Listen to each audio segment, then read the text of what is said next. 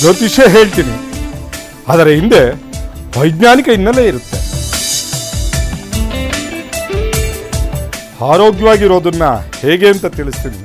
ಅದು ತುಂಬ ನೈಸರ್ಗಿಕವಾಗಿರುತ್ತೆ. ನಿಮ್ಮ ಯಶಸ್ಸಿನ ಮಾರ್ಗ ತೋರಿಸ್ತೀನಿ.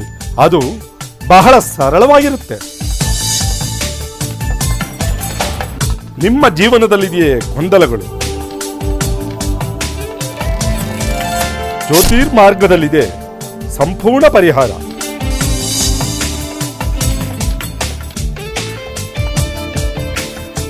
ಜ್ಯೋತಿರ್ಮಾರ್ಗ.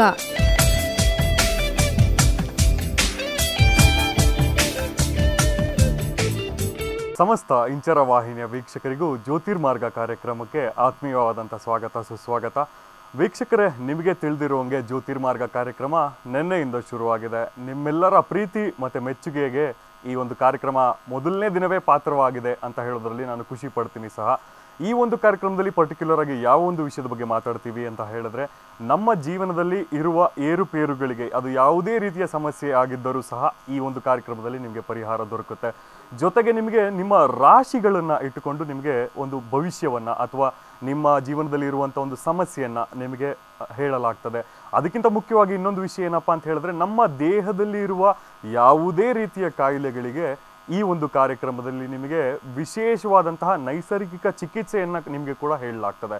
ಮುಖ್ಯವಾಗಿ ಹೇಳಬೇಕು ಅಂತಂದರೆ ಈ ಒಂದು ಕಾರ್ಯಕ್ರಮದ ಉದ್ದೇಶ ಎಲ್ಲರೂ ರೋಗಮುಕ್ತರಾಗಬೇಕು, ಎಲ್ಲರೂ ಜೀವನದಲ್ಲಿ ಬಹಳ ಹೆಮ್ಮೆಯಿಂದ ತಲೆ ಎತ್ತು ನಡಿಬೇಕು ಅನ್ನೋದೇ ಈ ಒಂದು ಕಾರ್ಯಕ್ರಮದ ಉದ್ದೇಶ ಸಹ.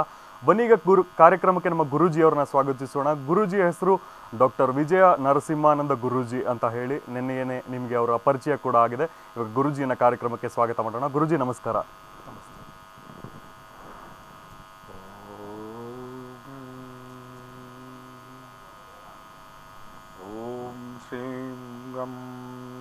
साम्बसिंहवाहनगणपते नमः। ॐ श्रीं ह्रीं राम वक्रतुण्डाय राजयतीन्द्राय विद्महे कामधेनुकल्पवृक्षाय धीमहि। तन्नो राघवेन्द्र प्रचोदयात् ब्रह्माण्डवासाय विद्महे प्रत्यक्षदेवताय धीमहि। तन्नो आदिशेष आदिशेषप्रचोदयात्। कठोरतपस्वी, अनुष्ठानशिखर ಮುಕ್ತಾಂಬಿಕೆಯ ವರಪುತ್ರ ಶ್ರೀ ಶ್ರೀ ಶ್ರೀ ಸಿದ್ಧ ಸೋಮೇಶ್ವರರ ಪಾದಾರವಿಂದಕ್ಕೆ ನನ್ನ ಶಿರಸಾಷ್ಟಾಂಗ ನಮಸ್ಕಾರಗಳು ಕರ್ನಾಟಕದ ಶಿಖರ ಶಿರೋಮಣಿ ಸಹ್ಯಾದ್ರಿ ನಿಮಿತ್ತಳು. ಕೊಲ್ಲೂರ ವಾಸಿನಿಯು, ಸರ್ವವೂ ನಿನ್ನದೇ ತಾಯಿ, ಸರ್ವವೂ ನೀನೇ ಎಂದು ಆಶಿಸುತ್ತಾ ಆ ಜಗದಂಬೆ ಕೊಲ್ಲೂರು ಮೂಕಾಂಬಿಕೆ ಆಶೀರ್ವಾದ ಕೃಪಾ ಕಟಾಕ್ಷ ಸದಾ ಎಲ್ಲರ ಮೇಲಿರಲಿ ಎಂದು ಹೇಳುತ್ತಾ ಈ ಕಾರ್ಯಕ್ರಮವನ್ನು ಪ್ರಾರಂಭಿಸೋಣ. ಗುರುಜಿ, ನಿನ್ನೆ ಹಲವಾರು ಕ- ಒಂದು ವಿಷಯಗಳ ಬಗ್ಗೆ ಚರ್ಚೆಯನ್ನು ಮಾಡಿದ್ದೀವಿ. ನಮ್ಮ ಜೀವನದಲ್ಲಿ ಹೇಗೆ ಇರಬೇಕು ಅಥವಾ ಒಂದು ವಿಷಯ ಆಗಲಿ, ನೈಸರ್ಗಿಕ ಚಿಕಿತ್ಸೆಯ ಬಗ್ಗೆ ಆಗಲಿ, ಮನುಷ್ಯ ಯಾವ ರೀತಿಯ ಒಂದು ಉಡುಗೆ ತೊಡುಗೆಗಳನ್ನಾಗಲಿ ಅಥವಾ ನಮ್ಮ ಸಂಸ್ಕೃತಿನ ಯಾವ ರೀತಿ ಕಾಪಾಡಬೇಕು ಅನ್ನೋದಾಗಲಿ, ಮುಖ್ಯವಾಗಿ ಇನ್ನೊಂದು ವಿಷಯವನ್ನು ಚರ್ಚೆ ಮಾಡ್ತಿದ್ವಿ ನಿನ್ನೆ, ಒಂದು ಪಂಚಾಂಗ. ಯಾಕಂದರೆ ನಮ್ಮ ಕಾರ್ಯಕ್ರಮ ಸಂಜೆ ಐದರಿಂದ ಆರು ಗಂಟೆಗೆ ಬರ್ತಿರೋದ್ರಿಂದ ನಾಳೆಯ ಒಂದು ಪಂಚಾಂಗ. ಅಂದರೆ ನಾಳೆ ಬೆಳಗಿನ ಇವತ್ತು ಹದಿನಾಲ್ಕನೇ ತಾರೀಕಾದ್ರೆ ಹದಿನೈದನೇ ತಾರೀಕಿನ ಪಂಚಾಂಗವನ್ನು ನೀವು ಹೇಳ್ತೀರಾ? ದಯಮಾಡಿ ಎಲ್ಲ ವೀಕ್ಷಕರಿಗೂ ನಾಳೆಯ ದಿನ ಹೇಗಿದೆ? ಯಾರಿಗೆ ಶುಭವಾಗುತ್ತೆ? ಯಾರಿಗೆ ಲಾಭವಾಗುತ್ತೆ? ಯಾರಿಗೆ ನಷ್ಟವಾಗುತ್ತೆ ಅನ್ನೋದನ್ನ ದಯವಿಟ್ಟು ತಿಳಿಸ್ಕೊಡ್ಬೇಕು. ಅಗತ್ಯವಾಗಿ. ಈಗ ನಾಳೆಯ ಪಂಚಾಂಗ ಶ್ರವಣವನ್ನು ಹಿಂದಿನ ದಿನವೇ ಓದುತ್ತಿದ್ದೇವೆ. ಕ್ರಮೇಣ ಸರ್ವರಿಗೂ ಈ ಇಂಚರ ವಾಹಿನಿಯ ಗುರುಜಿ ಒಬ್ರು ಕಾಲರ್ ಕೂಡ ಇದ್ದಾರೆ ಈಗ ಅವ್ರನ್ನ ಮಾತಾಡಿಸ್ಬಿಡೋಣ. ಹಲೋ ಹಲೋ ನಮಸ್ತೆ. ನಮಸ್ತೆ ನಿಮ್ಮ ಹೆಸರು? ಮಣಿ ಅಂತ. ಮಣಿ? ಹ್ಮ್. ಓಕೆ ಯಾರ ಬಗ್ಗೆ ಕೇಳಬೇಕಾಗಿತ್ತು? ನಮ್ಮ ಬಗ್ಗೆ ಫ್ಯಾಮಿಲಿ ಬಗ್ಗೆ ಸ್ವಲ್ಪ ಕಲಾಗಳಿಗೆ ಅದ್ರ ಬಗ್ಗೆ ಕೇಳಬೇಕಿತ್ತು. ಓಕೆ ನಿಮ್ಮ ಡೇಟ್ ಆಫ್ ಬರ್ತ್ ಹೇಳಿ. ನಮ್ದು ಹದಿನೈದು ಆರು ಎಂಬತ್ತೈದು. ಹದಿನೈದು ಆರು ಎಂಬತ್ತೈದು. ಓಕೆ ಗುರುಜಿ ಅವರು ಇವಾಗ ನಿಮ್ಮ ಜೊತೆ ಮಾತಾಡ್ತಾರೆ. ನನ್ನ ಯಜಮಾನ್ರ ಬಗ್ಗೆ ಸ್ವಲ್ಪ. ಖಂಡಿತ ಗುರುಜಿ ಅವರು ಇವಾಗ ನಿಮ್ಮ ಜೊತೆ ಮಾತಾಡ್ತಾರೆ ಗುರೂಜಿ. ಜೈ ಜಗನ್ಮಾತ. ನಮಸ್ತೆ ಅಮ್ಮ. ನಮಸ್ತೆ. ತಾಯಿ ನಿನ್ನ ಹೆಸರೇನಮ್ಮ? ಹೌದಮ್ಮ. ಕೇಳಿಸ್ತಾ ಇಲ್ಲ ತಾಯಿ? ನಿಮ್ಮ ಹೆಸರು ಹೇಳು ತಾಯಿ. ನಿಮ್ಮ ಮನೆಯವ್ರ ಹೆಸರು? ನಾಗೇಶ ಅಂತ. ನಾಗೇಶ್. ಮಕ್ಕಳು ತಾಯಿ? ಸರ್? ನಿಮ್ಮ ಮಕ್ಕಳು? ಮಕ್ಕಳು ಐಶ್ವರ್ಯ ರಾಣಿ ಹನ್ನೆರಡು ವರ್ಷ ಹನ್ನೊಂದು ವರ್ಷ. ಗಾನಿ ಏಳು ವರ್ಷ. ಈಗ ಸರಿ ಆಯ್ತು. ಈಗ ನಿನ್ನ ಶಬ್ದದ ಪ್ರಕಾರವಾಗಿ ನಿನ್ನ ಶಬ್ದ ವೇದಿಯ ಪ್ರಕಾರವಾಗಿ ಅಮ್ಮನ ನುಡಿ ಅಂತ ಏನಂತ ಹೇಳಿದ್ರೆ ನಾವು ಏನು ಮಾಡಿದ್ರು ಜೀವನದಲ್ಲಿ ಮೇಲಕ್ಕೆ ಬರಕ್ಕೆ ಆಗ್ತಾ ಇಲ್ಲ. ಹ್ಮ್. ಜೊತೆಗೆ ಹಣಕಾಸಿನ ವಿಷಯದಲ್ಲಂತೂ ದಿಸೆ ದಿಸೆ ತಗ್ಗುತ್ತಿದ್ದೇವೆ ಇದಕ್ಕೆ ಏನು ಮಾಡಬೇಕು? ಏನಾದರೂ ಒಂದು ಸೊಲ್ಯೂಷನ್ ನಾನು ಎಲ್ಲಾ ದೇವರುಗಳನ್ನು ಮರೆ ಹೋಗ್ತಾ ಇದ್ದೀನಿ. ನನಗೆ ಯಾವುದೇ ಸೊಲ್ಯೂಷನ್ ಅಥವಾ ನಮ್ಮ ಜೀವನದ ಮೇಲ್ಪಡೆಗೆ ಯಾವುದೇ ಒಂದು ಒಂದು ತೀರ್ಮಾನ ಸಿಗ್ತಾ ಇಲ್ಲ. ಜೊತೆಗೆ ನಮ್ಮ ಮನೆಯವ್ರನ್ನ ನಾನು ಸರಿ ಮಾಡಕ್ಕೆ ಆಗ್ತಾ ಇಲ್ಲ ಅನ್ನುವುದು ನಿನ್ನ ಪ್ರಶ್ನೆ. ಇದಕ್ಕೆ ಒಂದೇ ಉತ್ತರ ಅಮ್ಮ. ನೀನು ಒಂದು ದೇವಿ ಆದಿಶಕ್ತಿಯ ಆರಾಧನೆ ಮಾಡುವುದರಿಂದ ಇವೆಲ್ಲವನ್ನು ನೀನು ಕಡಿಮೆ ಮಾಡಿಕೊಳ್ಳಬಹುದು. ಜೊತೆಗೆ ನೀವಿರುವ ಮನೆಯ ಅಂಗಳದಲ್ಲಿ ಒಂದು ಕಬ್ಬಿಣದ ಬಾಂಡ್ಲಿಯಲ್ಲಿ ನೀರನ್ನು ಇಟ್ಟು ಆ ನೀರಿಗೆ ಸದಾ ಯಾವ ಕಾಲದಲ್ಲಿ ಪೂಜೆ ಮಾಡ್ತಾ ಬರೋ ತಾಯಿ. ನಿನ್ನ ಮನೆಯಲ್ಲಿರುವ ಕಷ್ಟಗಳೆಲ್ಲ ಕಡಿಮೆ ಆಗುತ್ತೆ. ಏನಂತ ಬಾಂಡಿ ನೀರಿಟ್ಟು? ನಿಮ್ಮ ಮನೆಯ ಅಂಗಳದಲ್ಲಿ ಕಬ್ಬಿಣದ ಬಾಂಡಲಿ.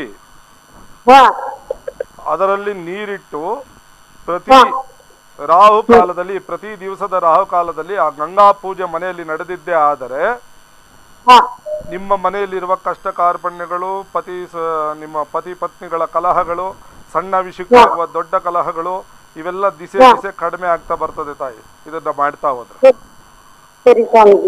ಮಣಿಯವರೇ ನೀವು ಕೇಳಿದಂಥ ಪ್ರಶ್ನೆಗೆ ನಿಮಗೆ ಉತ್ತರ ಸಿಕ್ಕಿದೆ ಅಂತ ಭಾವಿಸ್ತಾ ಹೃತ್ಪೂರ್ವಕ ಧನ್ಯವಾದಗಳು ಕಾರ್ಯಕ್ರಮಕ್ಕೆ ಕರೆ ಮಾಡೋದಕ್ಕೆ ಗುರುಜಿ ಪಂಚಾಂಗವನ್ನು ಹೇಳ್ತಿದ್ರಿ. ಯಾಕಂದರೆ ನಾವು ಸಂಜೆ ಐದರಿಂದ ಆರು ಗಂಟೆಗೆ ಪ್ರತಿನಿತ್ಯ ಅಂದರೆ ಸೋಮವಾರದಿಂದ ಶುಕ್ರವಾರ ಸಂಜೆ ಪ್ರತಿನಿತ್ಯ ಐದರಿಂದ ಆರು ಗಂಟೆವರೆಗೆ ಕಾರ್ಯಕ್ರಮ ಮಾಡೋದ್ರಿಂದ ಈ ದಿನದ ಪಂಚಾಂಗ ಹೇಳಿದೆ ಮಾರನೇ ದಿನ ಅಂದರೆ ಇವತ್ತು ಹದಿನಾಲ್ಕಾದರೆ ಹದಿನೈದನೇ ತಾರೀಕಿನ ಪಂಚಾಂಗವನ್ನು ಹೇಳಬೇಕಾಗತ್ತೆ.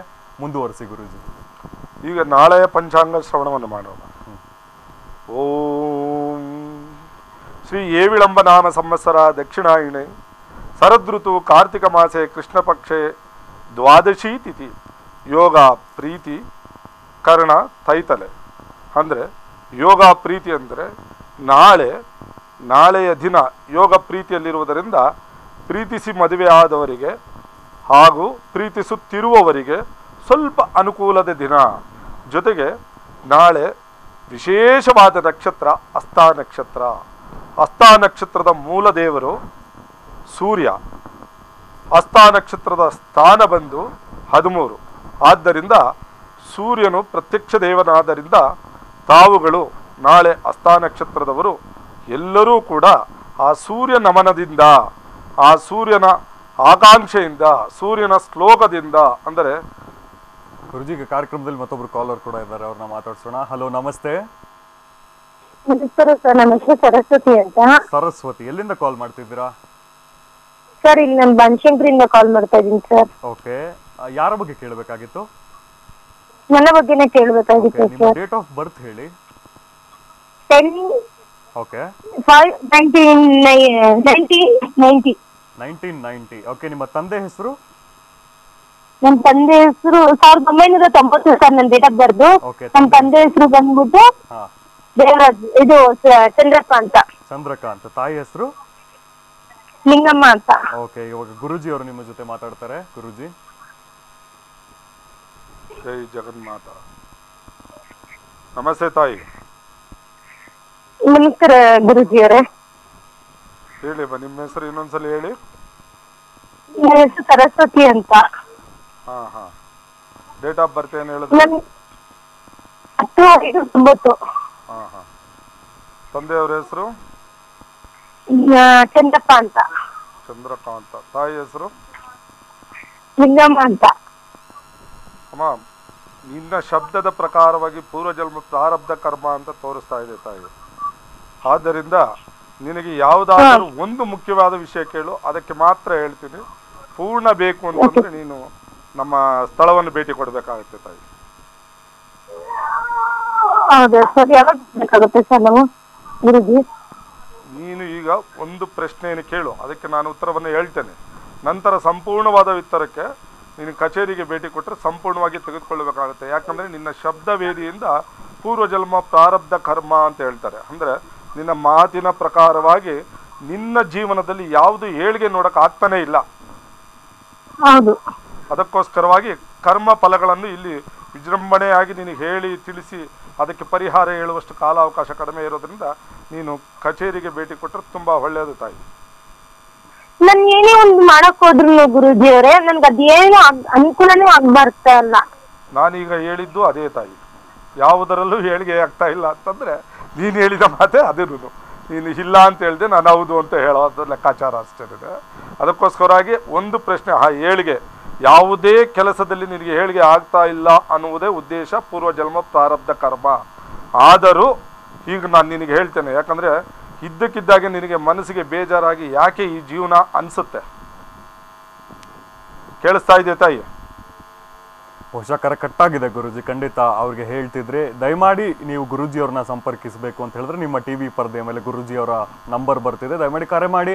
ಅಪಾಯಿಂಟ್ಮೆಂಟ್ನ ಕೂಡ ಪಡ್ಕೋಬಹುದು ಅಂತ ಹೇಳ್ತೀನಿ. ಗುರುಜಿ ಪಂಚಾಂಗವನ್ನ ಹೇಳ್ತಿದ್ರೆ ದಯವಿಟ್ಟು ಮುಂದುವರಿಸಿ ಗುರುಜಿ. ನಾಳೆ ದಿನದ ಅಸ್ತಾ ನಕ್ಷತ್ರ ಅಸ್ತಾ ನಕ್ಷತ್ರ ಅಂದರೆ ಹಸ್ತಾ ನಕ್ಷತ್ರಕ್ಕೆ ಮೂಲ ದೇವರು ಸೂರ್ಯ. ಈ ನಾಳೆ ಯೋಗ ಬಂದು ಪ್ರೀತಿ ಇರೋದ್ರಿಂದ ಕರ್ಣ ಬಂದು ತೈತಲೆ ಇದೆ. ಅದರಿಂದ ನಮ್ಮ ಯೋಗಗಳು ಅಂದರೆ ಇಪ್ಪತ್ತೇಳು ನಕ್ಷತ್ರಗಳು ಹೇಗೆ ಇಪ್ಪತ್ತೇಳು ಯೋಗಗಳು ಕೂಡ ಇದೆ. ಅದರಲ್ಲಿ ಒಂದೊಂದು ದಿವಸಕ್ಕೆ ಎರಡು ಮೂರು ಯೋಗಗಳು ಕೂಡ ಬರುವುದು ಉಂಟು. ಆದ ಕಾರಣವಾಗಿ ನಾಳೆ ಪ್ರೀತಿ ಅನ್ನುವ ಹೆಸರಿನ ಯೋಗ ಇರುವುದರಿಂದ ತೈತಲೆ ಅಂದರೆ ತಲೆಗೆ ಕೆಲಸ ಕೊಡುವುದು ಅನ್ನೋದು ಅರ್ಥ. ಅದರ ಜೊತೆಗೆ ಹಸ್ತ ನಕ್ಷತ್ರದವರು ಇನ್ನೂ ಪ್ರೀತಿಸಿದವರನ್ನು ನಾಳೆ ತುಂಬ ಚೆನ್ನಾಗಿ ನೋಡಿಕೊಳ್ಳಬಹುದು, ಜೊತೆಗೆ ಇರಬಹುದು. ಅದರ ಜೊತೆಗೆ ಹಸ್ತ ನಕ್ಷತ್ರದ ದಿನದಲ್ಲಿ ಏನೆಲ್ಲ ಮಾಡಬಹುದು, ಏನೆಲ್ಲ ಮಾಡಬಾರದು ಅನ್ನೋದನ್ನು ಕೂಡ ತಿಳಿದುಕೊಳ್ಳೋಣ. ನಾಳೆಯ ಬುಧವಾರ ಹದಿನೈದು, ಹನ್ನೊಂದು, ಎರಡು ಸಾವಿರದ ಹದಿನೇಳು. ಇದು ಹಸ್ತ ನಕ್ಷತ್ರದ ನಮ್ಮ ಸೈಂಟಿಫಿಕ್ ಅಂದರೆ ವೈಜ್ಞಾನಿಕವಾಗಿ ಬಂದಿರುವ ನಮ್ಮ ದಿನಾಂಕದ ದಿನ, ಬುಧವಾರ, ಅಂದರೆ ನಮ್ಮ ನಕ್ಷ, ನವಗ್ರಹಗಳಲ್ಲಿ ನಾಲ್ಕನೆಯ ಗ್ರಹದ ದಿನ. ಅದರಲ್ಲಿ ಹಸ್ತ ನಕ್ಷತ್ರ. ನಕ್ಷತ್ರವು ಕಾರ್ಯದಲ್ಲಿ ಲಯವನ್ನು ಹೊಂದಿದೆ. ಅಂದರೆ ಹಸ್ತ ನಕ್ಷತ್ರದವರು ಸ್ವಲ್ಪ ಖರ್ಚು ಮಾಡೋದಕ್ಕೆ ಮುಂದೆ ಇರ್ತೀರಾ? ಹಾಗೆ ನಿಮ್ಮ ಯುಗ, ಅಂದರೆ ಯಾವ ಯುಗಕ್ಕೆ ಸಂಬಂಧಪಟ್ಟಿದೆ ಹಸ್ತ ನಕ್ಷತ್ರ?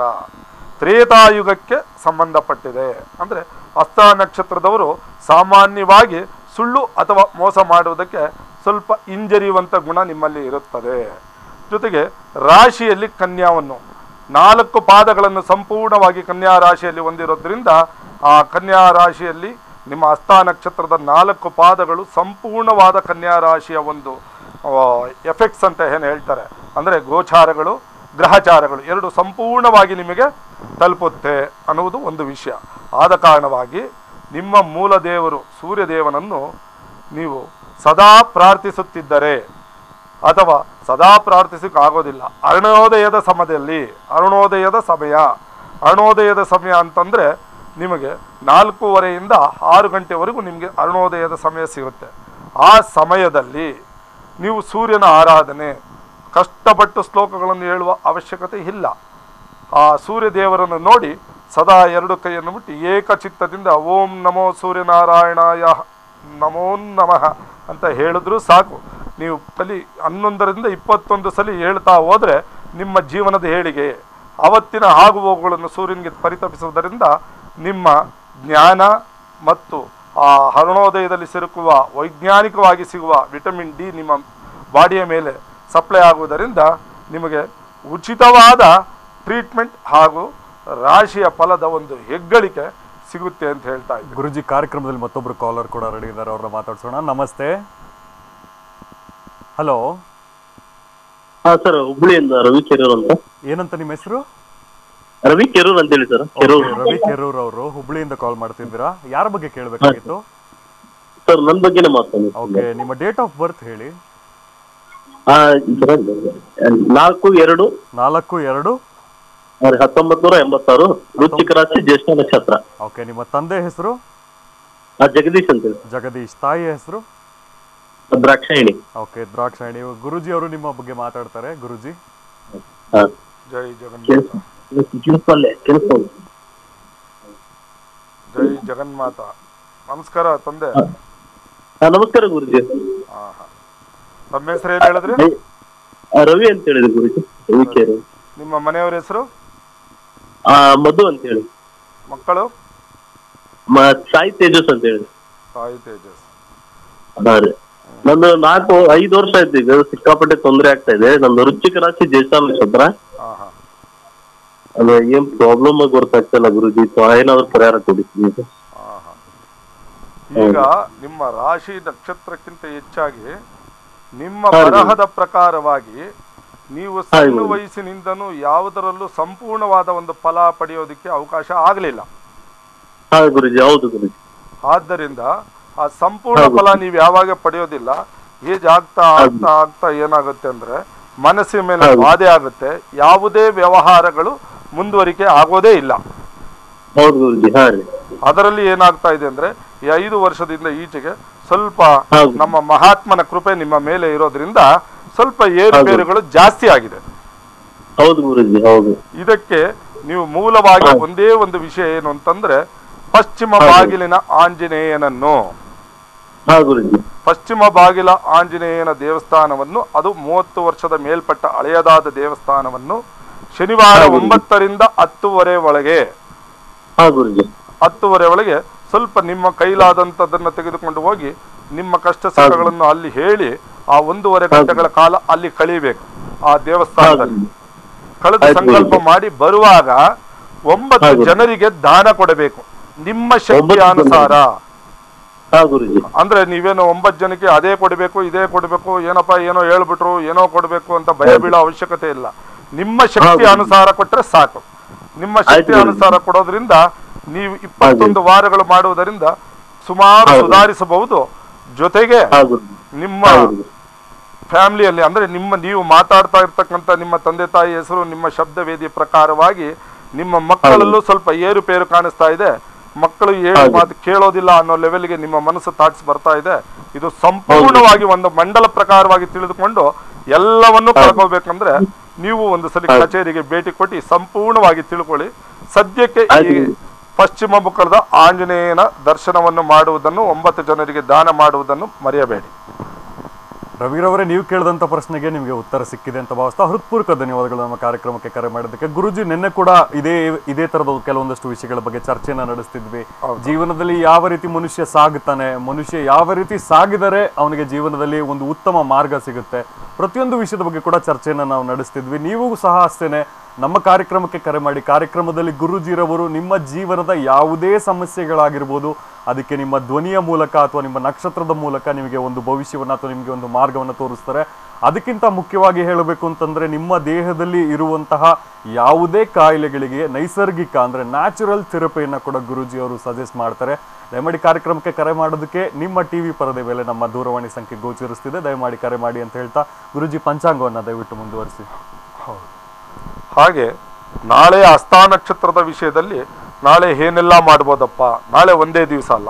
ಹಸ್ತಾ ನಕ್ಷತ್ರ ಇರುವಾಗ ಮಾಡುವಂತ ಒಳ್ಳೆಯ ಕಾರ್ಯಗಳು. ಒಳ್ಳೆಯ ಕಾರ್ಯಗಳು ಅಂದ್ರೆ ಉಪನಯನ, ವಸ್ತ್ರಧಾರಣೆ, ವಿವಾಹ ಹಾಗೂ ಗುರುಪ್ರವೇಶ ಅಂತ ಹೇಳ್ತೀವಿ. ಇನ್ನೊಂದು ಏನು ಅಂದ್ರೆ ಶ್ರೀಮಂತ ಅಂತ ಹೇಳ್ತೀವಿ. ಶ್ರೀಮಂತ ಅನ್ನುವ ವಿಷಯ ಹಸ್ತಾ ನಕ್ಷತ್ರದಲ್ಲಿ ಮಾಡುವುದರಿಂದ ತುಂಬಾ ಯಶಸ್ವಿಯಾದ ಮಗುವನ್ನು ಪಡೆಯುವುದಕ್ಕೆ ತುಂಬಾ ಅನುಕೂಲವಾಗುತ್ತದೆ. ಅದರಲ್ಲೂ ಹೆಣ್ಣು ಗರ್ಭಿಣಿಯಾಗಿರುವಾಗ ಪ್ರತಿ ಅಸ್ತ ಅನುರಾಧ ನಕ್ಷತ್ರಗಳಲ್ಲಿ ತಾವು ಸೂರ್ಯನ ಉಪಾಸನೆ ಅಥವಾ ಸೂರ್ಯನ ಆರಾಧನೆ ಮಾಡುವುದರಿಂದ ಆ ತೇಜಸ್ಸಿನಂಥ ಮಗುವನ್ನು ಪಡೆಯುವುದಕ್ಕೆ ಅನುಕೂಲವಾಗುತ್ತದೆ. ಇನ್ನು ಹೆಣ್ಣು ಮಕ್ಕಳ ವಿಷಯದಲ್ಲೇ ಬಂದಾಗ ಪ್ರಥಮ ರಜಸ್ವಲೆ ಅಂದರೆ ಹೆಣ್ಣು ಮಕ್ಕಳು ಕನ್ಯಾವಸ್ಥೆಗೆ ಏನು ಬರುತ್ತಾರೆ, ಆ ಕನ್ಯಾವಸ್ಥೆಗೆ ಬರುವಾಗ ರಜಸ್ಸೊಲೆ ಅಸ್ತಾ ನಕ್ಷತ್ರದಲ್ಲಿ ಆದರೆ ಬಹಳ ಶುಭಕರ. ಅಂತ ಹೇಳ್ತೇವೆ. ಇನ್ನು ಈ ನಮ್ಮ ಅಸ್ಥಾನಕ್ಷತ್ರದ ನಾಲ್ಕು ಪಾದಗಳಲ್ಲಿ ಒಂದನೇ ಪಾದಕ್ಕೆ ಮಂಗಳ ಗುರು ಆದರೆ ಅದಕ್ಕೆ ನೀವು ಉಲ್ಘಾಣ ನರಸಿಂಹನನ್ನು ಪ್ರಾರ್ಥನೆ ಮಾಡುತ್ತಾ ಹೋದರೆ ನಿಮ್ಮ ಕಷ್ಟ ಕಾರ್ಪಣ್ಯಗಳು ಕಡಿಮೆ ಆಗುತ್ತದೆ. ಕಾರ್ಯಕ್ರಮದಲ್ಲಿ ಮತ್ತೊಬ್ಬ ಕಾಲರ್ ಕೂಡ ರೆಡಿ ಇದ್ದಾರೆ ಅವ್ರನ್ನ ಮಾತಾಡಿಸೋಣ. ನಮಸ್ತೆ. ನಮಸ್ತೆ. ಆ, ನಿಮ್ಮ ಹೆಸರು? ಅಂಜುಶ್ರೀ ಅಂತ. ಮಂಜುಶ್ರೀ. ಅಂಜುಶ್ರೀ. ಅಂಜುಶ್ರೀ ಎಲ್ಲಿಂದ ಕರೆ ಮಾಡ್ತಿದ್ದೀರಾ? ಅರ್ಕೂರು ಓಕೆ ಯಾರ ಬಗ್ಗೆ ಕೇಳಬೇಕಾಗಿತ್ತು? ನಾವು ನಮ್ಮ ಅಣ್ಣನ ಬಗ್ಗೆ ಕೇಳಬೇಕಿತ್ತು. ಓಕೆ ಖಂಡಿತ ಈಗ ಗುರುಜಿ ಅವರು ನಿಮ್ಮ ಜೊತೆ ಮಾತಾಡ್ತಾರೆ. ನಿಮ್ಮ ಪ್ರಶ್ನೆನ ಗುರುಜಿ ಹತ್ರ ದಯವಿಟ್ಟು ಕೇಳಿ. ಗುರುಜಿ. ಜೈ ಜಗನ್ಮಾತ. ಹಲೋ ನಮಸ್ತೆ ಗುರುಜಿ. ನಮಸ್ತೆ ನಮಸ್ತೆ. ತನ್ನ ಹೆಸರು ಅಂಜುಶ್ರೀ ಅಂತ. ನಿಮ್ಮ ಅಣ್ಣನ ಹೆಸರು? ಮಂಜು ಅಂತ. ಮಂಜು ಅಂತ. ನಿಮ್ಮ ತಂದೆ ತಾಯಿ? ಅಮ್ಮ ವಿಜಯಲಕ್ಷ್ಮಿ ಅಪ್ಪ ನಾಗರಾಜು ಅಂತ.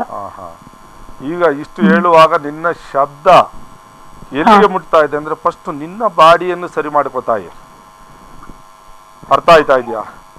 ಹಾ. ನಿನ್ನ ಬಾಡಿಯಲ್ಲಿರುವ ವೀಕ್ನೆಸ್ ಅನ್ನು ತುಂಬಿಕೋ. ಆ ಏಜ್ಗೆ ತಕ್ಕಂತೆ ನಿನ್ನ ಸೌಂದರ್ಯವನ್ನು ಕಾಪಾಡಿಕೋ ಅಂತ ಹೇಳೋದು ನಮ್ದು ಮೊದಲನೇ ಇದು. ಯಾಕಂದ್ರೆ ನೀನು ಮಾತಾಡುವಾಗಲೇ ಗೊತ್ತಾಗ್ತಾ ಇದೆ ನಿನ್ನ ರಕ್ತದಲ್ಲಿ ಹಿಮೋಗ್ಲೋಬಿನ್ ಲೆವೆಲ್ ಕಡಿಮೆ ಇದೆ ಅಂತ. ಜೊತೆಗೆ ನೀನು ನಿಮ್ಮ ಅಣ್ಣನ ವಿಷಯ ಕೇಳ್ತಾ ಇದೆಯಾ? ತುಂಬಾ ಧನ್ಯವಾದ ತಾಯಿ. ಯಾಕೆಂದ್ರೆ ಪ್ರತಿಯೊಬ್ಬರು ಅಣ್ಣ ಅನ್ನುವುದನ್ನು ತಂದೆ ಸಮಾನವಾಗಿ ಇಟ್ಟುಕೊಂಡಾಗ ನಮ್ಮ ಸಂಸ್ಕೃತಿ ತುಂಬಾ ಚೆನ್ನಾಗಿ ಬೆಳೆಯುತ್ತೆ ತಾಯಿ. ನಿಮ್ಮ ಅಣ್ಣ ಮಂಜು ಅನ್ನುವುದರ ಹೆಸರಲ್ಲಿ ಏನ್ ಮಾಡ್ತಾ ಇದ್ದಾರೆ ಅಂತಂದ್ರೆ ಸ್ವಲ್ಪ ಅವನ ಡೇಟ್ ಆಫ್ ಬರ್ತ್ ತಿಳಿಸ್ತಾಯಿ ಅವಂದು ಹದಿನಾರು ಒಂದು ಸಾವಿರದ ಒಂಬೈನೂರ ತೊಂಬತ್ಮೂರು. ಇವನು ಯಚಾ ಯಥಾಚಿತ್ ಮನುಷ್ಯ ತಾಯಿ. ಯಾಕಂದ್ರೆ ಅನ್ಕೊಂಡ್ರೆ ಏನೋ ಒಂದ್ ದಿವಸ ಫುಲ್ ಶಾರ್ಪ್ ಆಗಿ ಕೆಲಸ ಮಾಡ್ತಾನೆ ಇನ್ನೊಂದ್ ದಿವಸ ಫುಲ್ ಸಪ್ಪೆ ಆಗಿದ್ ಬಿಡ್ತಾನೆ. ಕೇಳಿಸ್ತಾ ಇಲ್ಲ? ಕೇಳಿಸ್ತಿದೆ ನಾನು ಹೇಳಿದ ಅರ್ಥ ಆಯ್ತಾ? ಹಾ ಅದೇ ಒಂದ್ ಶಾರ್ಪ್ ಅಲ್ಲಿ ಒಂದ್ ಒಂದೊಂದ್ ದಿನ ಕೆಲಸ ಮಾಡ್ತಾನೆ ಒಂದೊಂದ್ ದಿನ ಮಾಡಲ್ಲ. ಕರೆಕ್ಟಾ? ಹಾ. ಆದ ಕಾರಣ ಇವನ ಮಂದಗತಿ ಅಂತ ಹೇಳ್ತಾರೆ. ಮಂದಗತಿಯಲ್ಲಿ ಸಾಗೋದ್ರಿಂದ ಈಗ ಅವನು ಹುಟ್ಟುವಾಗ ಸಂಧಿಗಳ ಕಾಲದಲ್ಲಿ ಕೆಲವರು ಹುಟ್ಟಿರ್ತಾರೆ ತಾಯಿ. ಹಾಗೆ ಮಂಜು ಅನ್ನುವ ಹೆಸರು ಕೂಡ ಅವನ ಡೇಟ್ ಆಫ್ ಬರ್ತ್ಗೆ ಹೋಲುವಂತ ಹೆಸರು ಅಲ್ಲ ಹಾ ಮಂಜು. ನೀವು ನಮ್ಮ ಕಚೇರಿಗೆ ರಘು ಅಂತ? ಅದಕ್ಕೆ ತಾಯಿ ಹೇಳ್ತಾ ಇರೋದು. ಅದಕ್ಕೆ ಹೇಳ್ತಾ ಇರೋದು. ಅವನು ಹುಟ್ಟ ಹೆಸರು ನೀವು ಹೇಳುವ ಡೇಟ್ ಆಫ್ ಬರ್ತ್ಗೆ ಹೊಂದೋದಿಲ್ಲ ಅಂತ ಮಂಜು ಅನ್ನೋ ಹೆಸರು ಹೇಳಿದ್ದು. ಈಗ ನೋಡಿ ಆ ಕಡೆ ನಿಮ್ಮ ಲೆಕ್ಕಾಚಾರವಾಗಿ ಕೇಳಿದಾಗ ರಾಶಿಗಳ ಪ್ರಕಾರವಾಗಿ ಬಂದಾಗ ಹೀಗೆ ತುಲಾ ರಾಶಿ ಹೀಗೆ ಸಿಂಹ ರಾಶಿ ಎರಡನ್ನೂ ಮಿಕ್ಸ್ ಮಾಡಿದಾಗ ಯಾಕೆ ಅವನು ಸಮಾಧಾನವಾಗಿರೋದಕ್ಕೆ ಸಾಧ್ಯತಾಯಿ ಮೊದಲು ಜನ್ಮ ನಕ್ಷತ್ರದ ಹೆಸರು ಯಾರಾದರಾಗಬಹುದು? ವೀಕ್ಷಕ ಬಂಧುಗಳೇ ಜನ್ಮಕ ಜನ್ಮ ನಕ್ಷತ್ರದ ಹೆಸರನ್ನೇ ಹಿಡಿ ಅದರಲ್ಲೇ ನಿಮಗೆ ಬೇಕಾದ್ದನ್ನು ಆರಿಸಿ ಅದರಲ್ಲಿ ಇಟ್ಟಾಗ ಆ ಮನುಷ್ಯನಿಗೆ ಪರಿಪೂರ್ಣವಾದ ಎಫೆಕ್ಟ್ ಇರುತ್ತೆ. ನೋಡಿ ತಾಯಿ ಇವಾಗ ನೀನು ಕೇಳ್ತಾ ಇದೀಯ ಅಣ್ಣ ಸರಿಯಾಗಿಲ್ಲ ಅಣ್ಣನಿಗೆ ಏನಾದ್ರು ಮೇಲ್ ಬರಬೇಕು ಅಣ್ಣ ಏನಾದ್ರು ಚೆನ್ನಾಗ್ ಆಗ್ಬೇಕು ಅಣ್ಣ ಚೆನ್ನಾಗಿದ್ರೆ ನಾನು ಚೆನ್ನಾಗಿರ್ಬೋದು ಅನ್ನೋ ಭಾವನೆ ನಿಂದು.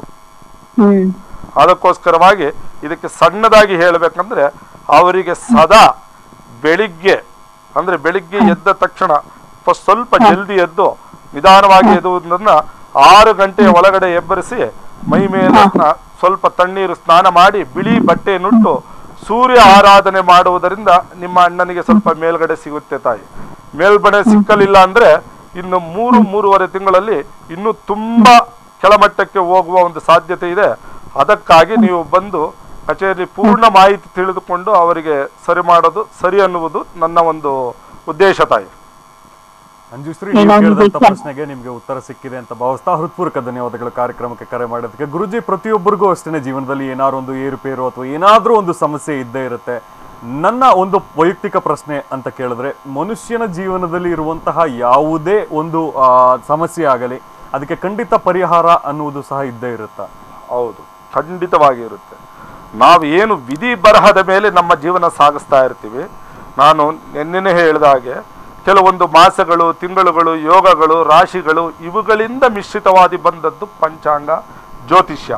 ಜ್ಯೋತಿ ಅಂದರೆ ಕಣ್ಣು, ಶಾ ಅಂದರೆ ಅದನ್ನು ನಿಮಿಸುವುದು ಅಂತೇಳಿ. ಅಂದರೆ ಕಣ್ಣಿನ ರೂಪ. ನೋಡಿ, ನಮ್ಮ ಕಣ್ಣಿನ ರೂಪ ಜ್ಯೋತಿಯಾಗಿದೆ. ಆದರೆ ಅದನ್ನು ಮಲಗಿದ ರೂಪದಲ್ಲಿ ಕಣ್ಣನ್ನು ಪ್ರತೀಕ್ಷಿಸಿದ್ದಾನೆ ದೇವರು. ಏಕೆ ಅಂದರೆ ಈ ಎರಡು ಜ್ಯೋತಿಗಳಿಂದ ನೀವು ಏನು ಬೇಕಾದರೂ ಮಾಡಬಹುದು ಅನ್ನುವುದು. ಹಾಗೆ ನವರಂಧ್ರಗಳಿಂದ ಸೃಷ್ಟಿಸಿದ್ದಾನೆ. ಅದಕ್ಕೂ ಇದಕ್ಕೂ ಏನು ಸಂಬಂಧ ಅಪ್ಪ? ಅಂದರೆ ಈ ನಕ್ಷತ್ರಗಳಲ್ಲಿ ರಾಶಿಗಳನ್ನು ಬಳನೆ ಮಾಡುವುದಕ್ಕಿಂತ ನಾವು ಬೆಳೆಸುವ ಬೆಳವಣಿಗೆ ಅಥವಾ ನಾವು ನಡೆದುಕೊಳ್ಳುವ ನಡವಳಿಕೆಯನ್ನು ಒಬ್ಬ ಗುರು ಮುಖಾಂತರವಾಗಿ ತಿಳಿದುಕೊಂಡು, ಗುರುವನ್ನಿಟ್ಟುಕೊಂಡು ನಿಮ್ಮ ಏಳಿಗೆಯನ್ನು ಸಾಗಿದರೆ ಯಶಸ್ಸಿನ ಮಾರ್ಗ ಸೇರುವುದಕ್ಕೆ ಬಹಳ ಅನುಕೂಲವಾಗುತ್ತದೆ ಎನ್ನುವುದು ನನ್ನ ನಲವತ್ತೆರಡು ವರ್ಷಗಳ ಧ್ಯಾನದಲ್ಲಿ ಕಲಿತಂತ ಒಂದು ವಿದ್ಯೆ. ಖಂಡಿತ ಗುರುಜಿ ಈ ಒಂದು ವಿಷಯಗಳ ಬಗ್ಗೆ ಮತ್ತಷ್ಟು ಮಾತಾಡೋಣ. ಅದಕ್ಕಿಂತ ಮುಂಚೆ ಒಂದು ಸಣ್ಣ ವಿರಾಮವನ್ನು ತೆಗೆದುಕೊಂಡು ಬರೋಣ. ಈಗ ಒಂದು ಸಣ್ಣ ವಿರಾಮ. ವಿರಾಮದ ನಂತರ ಮತ್ತೊಮ್ಮೆ ನಮ್ಮ ಚರ್ಚೆ ಮುಂದುವರಿಯುತ್ತೆ.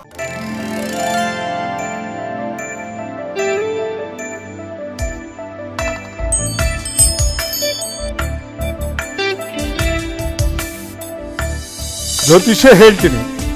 ಅದರ ಹಿಂದೆ ವೈಜ್ಞಾನಿಕ ಹಿನ್ನೆಲೆ ಇರುತ್ತೆ. ಆರೋಗ್ಯವಾಗಿರೋದನ್ನ ಹೇಗೆ ಅಂತ ತಿಳಿಸ್ತೀನಿ. ಅದು ತುಂಬ ನೈಸರ್ಗಿಕವಾಗಿರುತ್ತೆ. ನಿಮ್ಮ ಯಶಸ್ಸಿನ ಮಾರ್ಗ ತೋರಿಸ್ತೀನಿ. ಅದು ಬಹಳ ಸರಳವಾಗಿರುತ್ತೆ. ನಿಮ್ಮ ಜೀವನದಲ್ಲಿದೆಯೇ ಗೊಂದಲಗಳು. ಜ್ಯೋತಿರ್ಮಾರ್ಗದಲ್ಲಿದೆ. ಸಂಪೂರ್ಣ ಪರಿಹಾರ.